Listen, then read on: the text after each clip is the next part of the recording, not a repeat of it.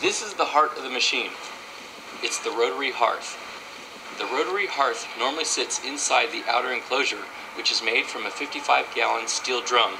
We've removed this outer enclosure so that you can see the inner workings of the machine, the rotary hearth. Chip inlet is up here, and this is where the chips go into the basket, and the basket rotates slowly, and while the basket is rotating, the chips will be on fire. As the chips slide and, and the basket rotates, they will move from left to right, and when the combustion is complete, they will fall out of, the, of an outlet hole and into a bucket filled with water at the left end. Tonight, we're going to put the enclosure back around the hearth, light the chips, and make some biochar.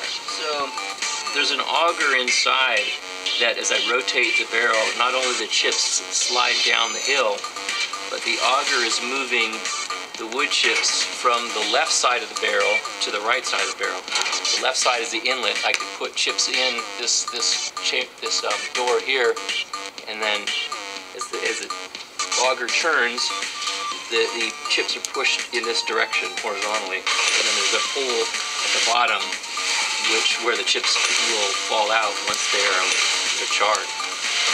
So it's a continuous process. The biochar burner that you saw in the last scene is quite successful. Now I'm working on